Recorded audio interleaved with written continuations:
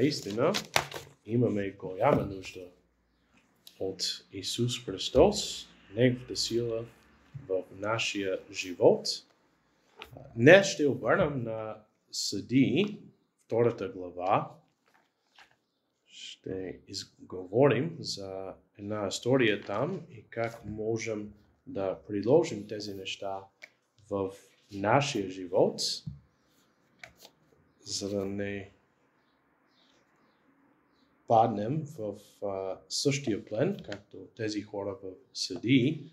Съди втора глава ще прочетем от стих 7 до стих 17. И там Библията казва, и народът служи на Господа през всичките ни на Исус и през всичките ни на старейшните, които надживи, а, надживяваха Исус, които бяха видели цялото велико дело на Господа, което Той беше извършил за Израил. Стих 8.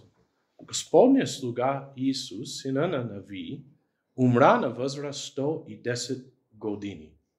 Стих 9 го погребиха в областта на наследството му в Тамнат Арес, в хомистата земя на Ефрем на север от планината Газ.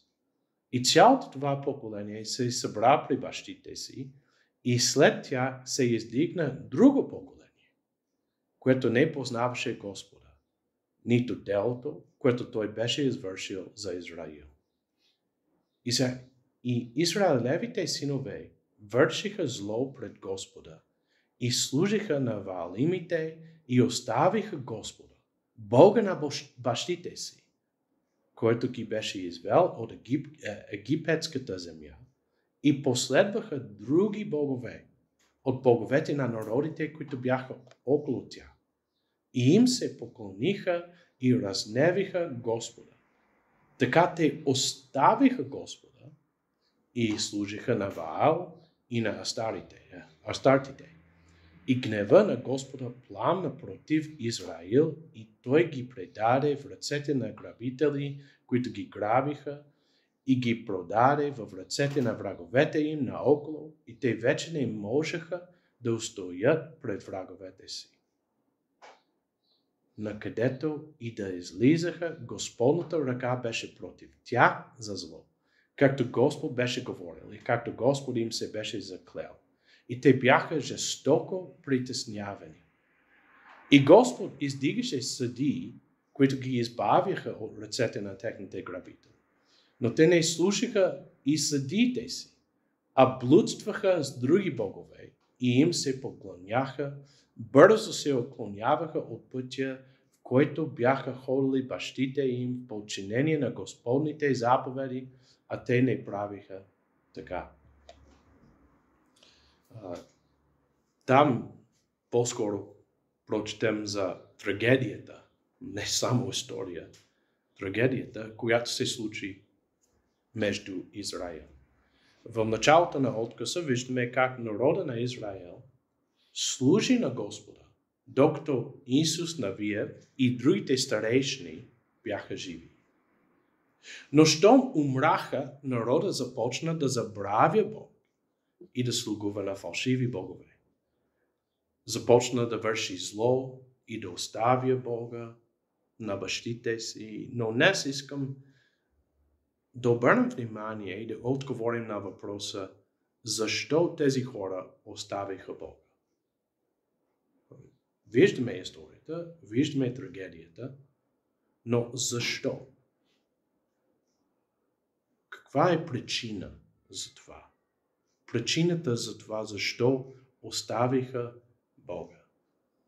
И така, имайки това предвид, първо, нека разгледаме стих 10, там в Седи, втора глава, стих 10, да прочетем отново този стих, защото там виждаме отговора стих 10 казва, и цялото това поколение се събра при бащите си и след тях, става въпрос за Исус Навиев, старейшните, и след тях се издигна друго поколение, което не познаваше Господа, нито делото, което той беше извършил за Израил. Издигаше поколение, което не познаваше Господа. Там ясно е написано отговор на въпроса защо оставиха Господ, а именно, че имаше друго поколение, което не познаваше Бог, не познаваше делата му, не разбираше как той изведе целият народ Египет, нямаше знание за чудесата, които той беше направил в пустинята, не беше чувал за историята на Ерахон и така нататък. Не, просто не познаваше Бог и делата му. Като цяло това поколение не беше чувало нищо за Бог и за делата му.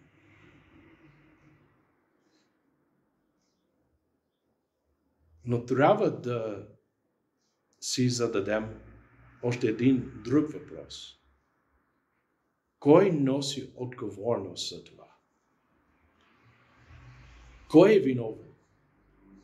Това поколение не познаваше Бог, не познаваше делата. Но кой е виновен?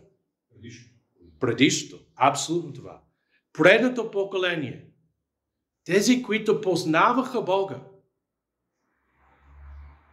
Видяха чудесата преживяха всички тези победи, за които четем в Исус Навия, в Второзаконие, в числа, в изход, в тези книги. Виждаме, ние можем да четем тези чудеса, нали, делата на Господ. Виждаме заповедите му. И тези хора, които преживяха всички тези неща, това предното поколение, те носят тази отговорност. И понеже те не изпълниха своята отговорност, имаше и друго поколение, което не знаеше нищо за Бог. И понеже беше без знание, започна тогава да следва религиите и фалшивите богове на други народи и нации. Липсваше им знание за Господ. И имайки това предвид, бих искал днес да видим какво е приложението на тези неща в нашия живот. И да видим каква отговорност ни се даде. Първото нещо, което трябва да разберем е, че предното поколение, вече починалото, носеше отговорност да учи другото за Бог и за заповедите му. Виждаме това в историята, но по-скоро нека обърнем на второ законие, за да видим това, което Бог им заповядва. Във второ законие, 6 глава, първия стих, второ законие, 6 глава, първия стих до стих 12, и после ще прескочим малко по-надолу в стих 20 до 25.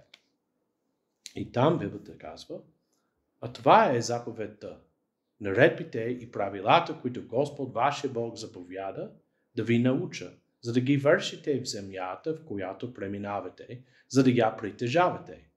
За да се боиш от Господа, своя Бог, да спазваш всичките му наредби и заповедите му, които си заповядвал, ти и сина ти, и сина на сина ти, през всичките дни на живота си, и за да се продължа ните ти. Слушай, Израили, и внимавай да ги вършиш, за да ти бъде добре и да се умножите много, както Господ Бог на бащите ти ти е говорил в земя, където тъкат мляко и мед. Слушай, Израили, Господ е нашия Бог. Господ е един. Слава на Бог.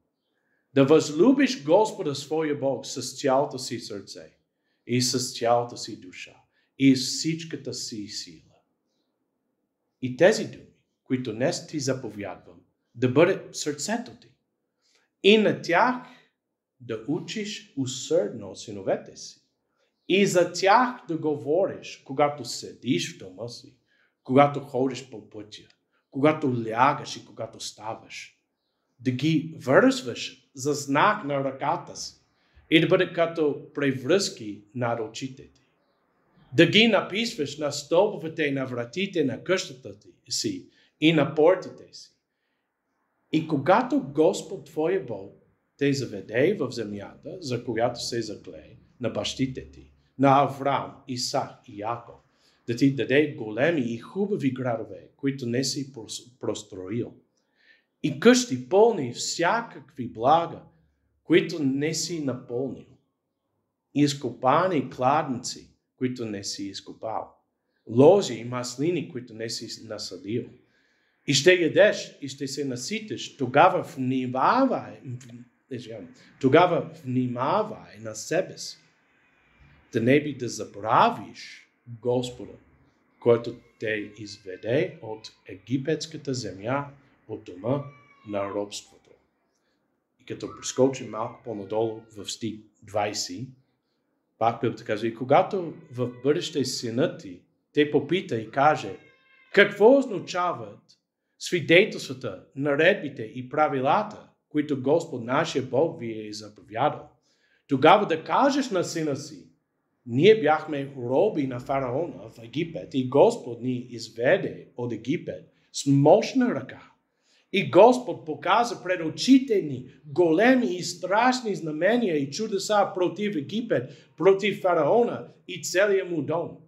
И ни изведе оттам, за да ни доведе и да ни даде земята, за която се заклее на бащите ни.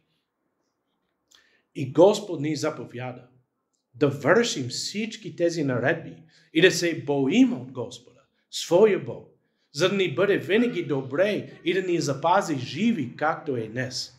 И това ще е нашата правда. Ако внимаваме да спазваме целият този закон пред Господа нашия Бог, така както Той ни заповяда. този пасаж ясно виждаме Бог да заповяда на народа си, да учи децата си на му. Два пъти той казва. Тогава да кажеш на сина си. Учи усърдно синовете си. Тези неща той казва е за теб, за сина си и за сина на сина си и така нататък. Тези неща трябва да продължават и трябва да учиш на синовете си.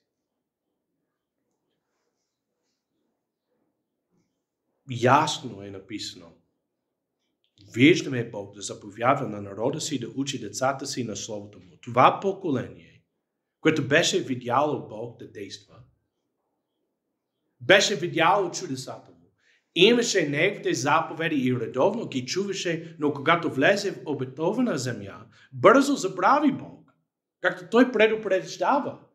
Това тогава стих 12. Тогава внимавай на себе си, да не би да забравиш Господа, който те изведе от египетската земя, от дома на робството. Но какво е причината за това? Преди това Господ казва, когато Господ Твой Бог те заведе в земята, за която се е заклее на бащите ти, на Авраам, Исах и Яков, да ти даде големи и хубави градове, които не си простроил и той продължава там, маслини и други работи. Той каза, тогава внимавай. Тоест, когато всичко е наред, внимавай да не забравиш Твоя Господ. Да не забравиш този, който ти заведе в този земя. Но това поколение, поколението, което беше видяло Бог да действа. Видял чудесата му. Имаше заповедите му. Нали? В пустинята редовно ги чуваше. Но за съжаление, когато влезе в обетована земя, бързо забрави Бог. И не разказва за него на децата си. Тоест, щом всичко беше наред, забрави го. Е, Вече сме в тази земя. Всичко е окей. Okay. Точно това е за което Бог предупреди народа си. Той казва, внимавай на себе си, да не би да забравиш Господа. Другото поколение нямаше знание за Бог, защото предното не му беше казало нищо за Бог. Разбираме това от Съди, 2 глава, стих 10, където Библията казва, че това друго поколение не познаваше Бог и не познаваше нито едно от делата му, които той беше извършил за народа си. Колко жалко и, и тъжно е, когато едно поколение, което лично познава Бог, не го предава на следващото. И както виждаме в съди, това винаги води към страшни и ужасни неща. Следващото поколение имаше проблем след проблем, защото не познаваше Бог. Остави го. И следваше фалшиви богове и собствените си желания. Добър ден. Имайки това предвид,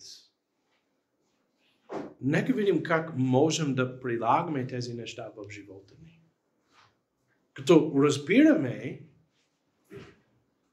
това поколение, първото поколение нали, и другото, като разбираме тази история, като виждаме това, което е написано там и това, което е се случило при тези хора, как можем да прилагаме тези неща в живота ни? Защото Библията в Нови Завет ни казва ясно, че нещата, които са написани в Стария Завет, стават като уроци за нас.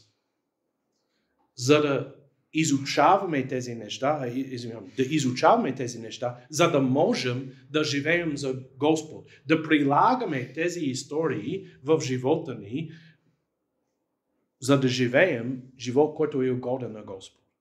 Но как можем да прилагаме тези неща в живота ни? Първо, понеже не всички ние имаме деца, все пак можем да приложим тези принципи в живота ни. Въпреки, че историята става въпрос за едно поколение и друго поколение, ако нямаме деца, няма проблем, пак можем да приложим тази история в живота ни, да, да извадим нещата, които са важни за нас, нещата, които ще ни помагат да живеем за Господа. И първото нещо, което трябва да разберем, като четем тази история, е това необходимостта хората да познават Бог. Абсолютно необходимо е. Когато четем книга Съди, виждаме страшни и ужасни неща, които се случиха, случиха с евреите заради липсата им на знание. Хората трябва да знаят, да има знание за Господа, да чуват благата вест, да чуват Словото Му, да чуват заповедите Му. Необходимо е. Има един паралелен пасаж, Осия, четвърта глава. В Осия,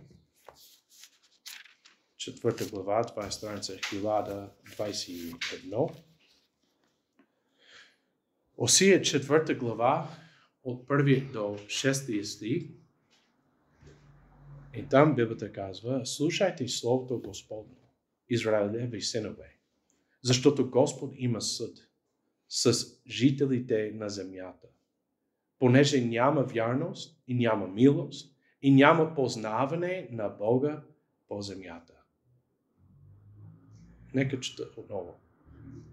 Слушайте Словото Господно, Израилеви синове, защото Господ има съд с жителите на земята, понеже няма вярност, няма милост и няма познаване на Бога по земята. Клетва и лъжа и убийство и кражба и прелюбодейство, преминаване на всички граници и кръв се допира до кръв. Затова ще скърби земята и всеки неен жител ще премре заедно с полските звревове и с небесните птици и морските риби ще бъдат грабнати. Но никой да не спори и да не порицава, защото твоя народ е като онези, които спорят с свещеника. Затова ще се препънеш денем и с теб ще се препъне и пророк нощем. И аз ще оставя да загине майка ти. Народа ми загива от липса на знание, понеже ти отфърли знанието и аз отфърлих теб, да не ми свещо, свещено действаш, понеже ти забрави закона на своя Бог. И аз ще забравя синовете ти. Това е паралелен пасаж.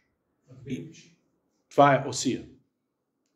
Въпреки, че имаше много поколения между времето в Съдии и Осия, пак виждаме едни и същи неща. Хората отвърлят Бог и не следват заповедите му, понеже нямат знание за Него и за Словото му. Тази липса на знание води към всеки вид грях. В пасажа, става въпрос за Усия, виждаме лъжа, клетва, кражба, убийство и така нататък. Плодовете на плътта са. И когато няма знание за Бога, се умножават. Както в Псалм, 36-я Псалм, ще обърнем там. Псалм 36, първия стих казва Беззаконието на безбожния говори вътре в сърцето ми. Пред очите ми няма страх от Бога. Беззаконието на безбожния говори вътре в сърцето ми. Какво говори? Пред очите му няма страх от Бога. Има връзка с Осия, връзка с Съди, по-скоро, защо няма страх от Бога? Защото няма познание за Него. Понеже не познават Господ, не познават Словото Му, нямат страх от Него и що нямат страх от Него, вършат както си искат. Беззаконието на безбожния говори вътре в сърцето ми, пред очите му няма страх от Бога. И пак в притчи, 16 глава. Притчи 16, стих 6. Виждаме подобни думи. Притчи 16 глава, стих 6 казва, с милост и истина беззаконието се изкупва. И чрез страха от Господа човек се оклонява от злото. Това е като от обратна гледна точка. В Псалм 36 казва, пред очите му няма страх от Бога, за, за това има беззаконие. Нали? И от обратна сми, а, мисъл, обратен смисъл, в притчи 16 глава стих 6 виждаме, с милост и истина беззаконието се изкупва и чрез страха от Господа човек се оклонява от злото. Когато има липса на страх от Господа, човек следва беззаконие, следва злото. Но когато има страх от Господа, човек се оклонява от злото. Не внимава взима мерки. То не може на 100% да се... Нали, човекът си е грешен, така. А, да, но става въпрос като цяло. Когато човек има страх от Господа, Няма да убие, няма да открадне, гледа да не излъже, поне съзнание има за това. да, когато има липса на за знание, липса на знание, когато има липса на страх от Господа, човек прави както си иска. Тоест няма граница. Действа без ограничение. Но когато има страх от Господа, човек се отклонява. Той разбира, че има наказание, има последствие. Той разбира, че един ден той трябва да застане пред Господ. Ако ти нямаш знание за Господ, няма да разбереш тогава, че един ден ти трябва да застанеш пред Него. Ти трябва да имаш знание. Няма как да се страхуваме от Бога, ако не го познаваме. И когато става въпрос за света, за хората около нас, и те няма да се страхуват от Бога, ако не го познават. Имат нужда от знание, както видяхме в Осия, хората загина, загива, загиват от липса на знание. Това е Осия, четвърта глава. И всичко това води до второто нещо. Първото нещо е, че трябва да разберем, че хората имат нужда от знание за Господа. Но второто нещо, което трябва да разберем, е, а именно е, че само тези, които самите познават Бог, могат да го представят на другите. И това е логично. Само тези, които имат знание, могат да го предават на другите. Само тези, които самите познават Бог, могат да го представят на другите. Както четем в Римляни 10 глава, стих 14 дни. Четохме доста много пъти. Как обаче ще призоват този, в не са повярвали? А как ще повярват този, когото не са чули? А как ще чуят без проповедник? Римляни 10 глава, стих 13 е много, много хубав стих. Всеки, който призове името на Господа, ще се спаси. Но Библията продължава, казвайки, а как обаче ще призоват този, в когото не са повярвали, а как ще повярват в този, когото не са чули, а как ще чуят без проповедни. Хората няма да чуят за Бог без проповедни. Какъв беше проблема в Съдии, втора глава? Хората, които имаха знание за Бог, не предадоха това знание на децата си.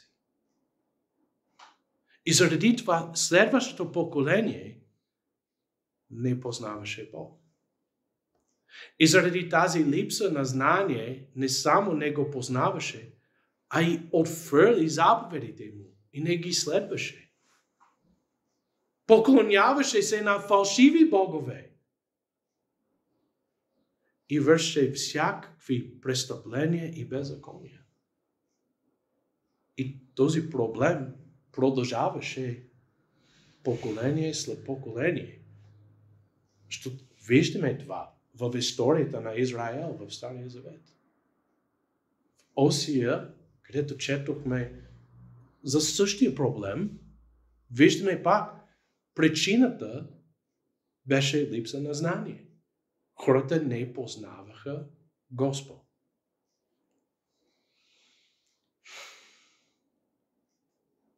Когато четем съди само тази книга, виждаме Божия народ да върши много развратни и зли неща. Заради липса на страх от Господа, което означава им липсва и знанието за Бог. Но виновните бяха тези, които познаваха Бог, а не го споделиха с другите. Това поколение, което познаваше Бог, би трябвало да го представи на друго поколение. Виновните бяха тези, които познаваха Бог, а не го споделиха с другите. И точно там е третото нещо, което трябва да разберем, а именно нашата отговорност. Заради липса на знание ще има греха и греха ще се умножава. Тези, които познават Господ, носят отговорност да го споделят с другите. И точно там и ние носим тази отговорност. Разглеждайки обществото около нас, веднага разбираме, че липса му страха от Господ, от Бога. Абсолютно е така. И няма страх, защото няма и знание за Бог. Отговорът е, че трябва да благовестяваме. Трябва да показваме Бог на другите. Ако само се оплакваме заради корупцията, несправедливостта, кражбите и така нататък, и разбира се, можем, нали? Като четем новината, като гледаме хората, можем да се оплакваме. О, Боже, виж, тези хора нямат страх от Теб, Господи. Не те обичат, не те познават. Какво да прави с тези хора? Всички са корумпирани, всички са кръци, лъгат постоянно. Да, а, ако само се оплакваме заради тези неща, корупция, несправедливостта, а не евангелизираме, ние сме, и не евангелизираме, ние сме виновни.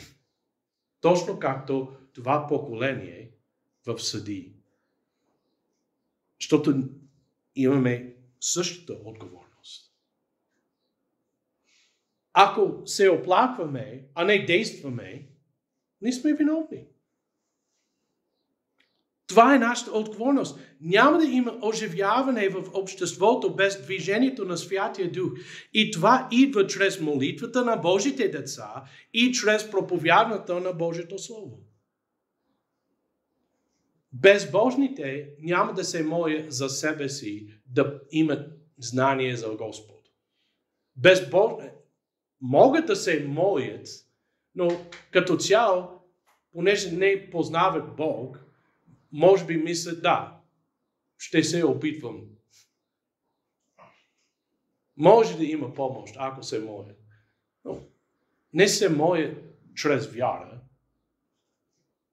Безбожните няма да се молят за себе си, няма да търсят истината. Ние трябва да проповядваме, да евангелизираме, да отиваме навън, говоряки за Бог, за Словото Му.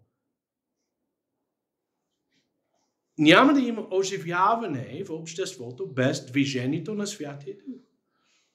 И това идва чрез Словото, чрез молитва. Библията ни обещава, че Светия Дух ще изобличи света за грях, за правда и за съд.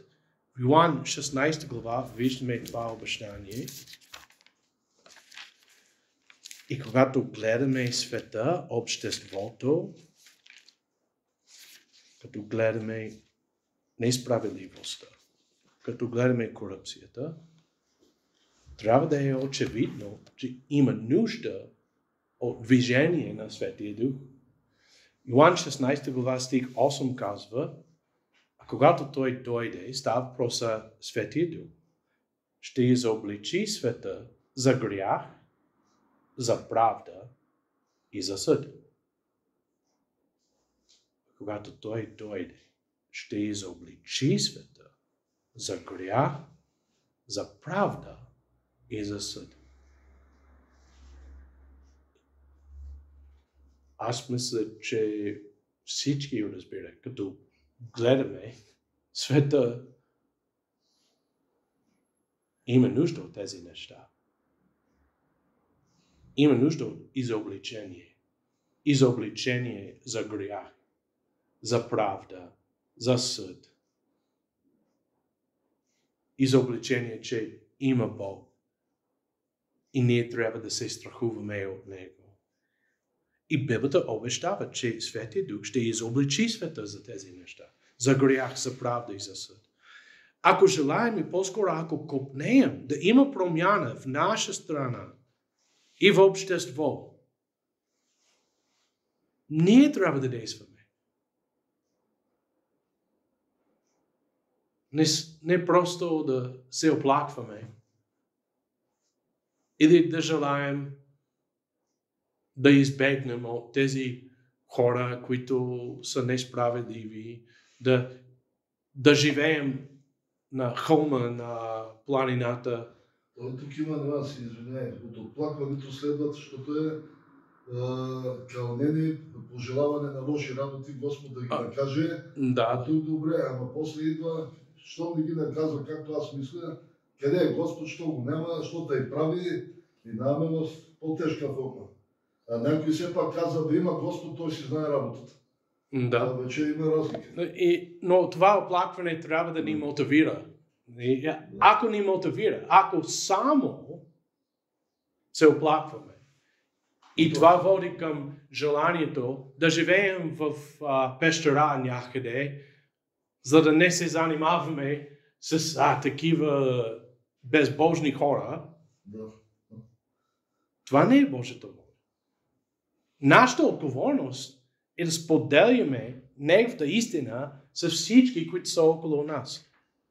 Да сме смелни, да, да отиваме навън, да говорим за Него, да проповядваме Словото Му, да евангелизираме, защото всички трябва да чуят истината. Те няма да се страхуват от Господ, ако не чуват за Него.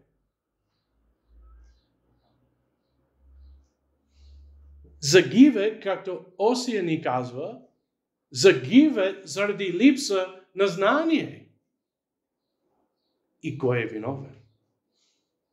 Тези, които имат знанието за Господ. Тези, които притежават Неговото Слово.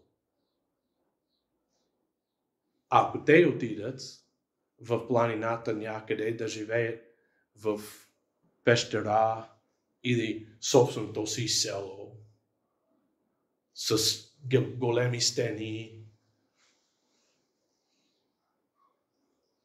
и да не общуват с хората, как ще има промяна? Ако копнеем за нашата страна, да има промяна, ако това е желанието ни. И аз мисля, че това е желанието на Господ, защото Библията ни казва много ясно, че волята му е всички да се покаят, всички да имат знание за Него и за Словото му. Всички да се покаят и да идват при Него. Това е желанието му. За- Заради това Исус Христос умра. Той умра за света. Бог толкова възлюби света, че даде своя, а, собствен, а, своя единороден син, за да не загине нито един, който вярва в него, а да има вечен живот. Това е желанието му. И ако сме неговите деца, трябва да имаме едни и същи желания. И това означава, че ние имаме отговорност да отиваме и отивайки да благовестяваме, да евангелизираме, да проповядваме Божието Слово, всички да чуят благата вест. Дали ще приемат или не, нашата отговорност е да споделяме благата вест. Защото има тези, които ще приемат тази новина. Ще повярват в Исус Христос. Има онези, които ще отвърдят тази, тази блага вест. Но нашата отговорност по-скоро е да даваме възможност. Тук е истина. Тук е надежда. Бог иска да говори с теб. Това е нашата отговорност. И като четем историята в Съди, виждаме, че понеже първото поколение не говори на другото поколение за Божията истина, за Неговото Слово, за чудесата му, понеже те не изпълниха отговорността си, имаше големи проблеми. в поколение след поколение. Ако ние желаем промяна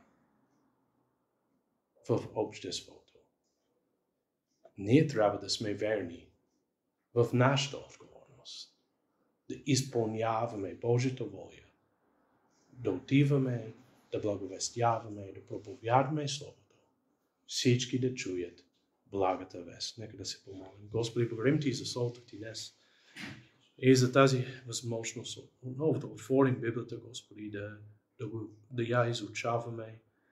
Помогни ни да прилагаме тези неща в живота ни, да, да сме верни към Те, Господи, да, да сме верни в задачите ни, защото Ти ни заповядваш да отиваме, да благовестяваме, да споделяме Словото Ти с другите, Господи, да не мълчим, а да сме смели и верни служи, служители на Те, Господи. Да служим вярно, искрено, се отдайно, Господи, на Теб. Помогни ни в тази работа, Господи. Дай ни смелост, Господи. Дай ни Твоя дух. Нека Той да действа в нас и сред нас и около нас, Господи, в обществото. Хората да разбират, Господи, че имат нужда от Теб, имат нужда от спасението, имат нужда от истината. Господи, бъди с нас, бди на нас, помогни ни. Всичко това се молим в името на наш Спасител Исус Христос. Амин. thank you